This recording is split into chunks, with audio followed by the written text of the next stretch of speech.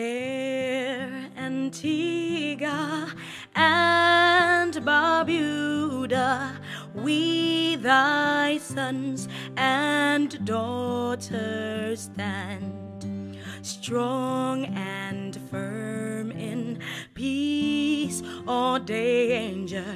to safeguard our native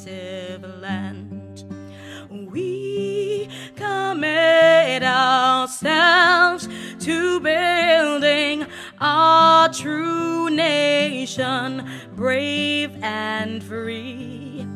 ever striving, ever seeking, dwell in love and unity.